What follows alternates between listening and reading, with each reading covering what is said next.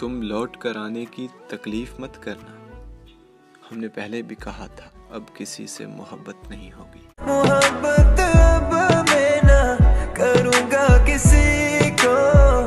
मेरी जगह तो तूने दे दी किसी को।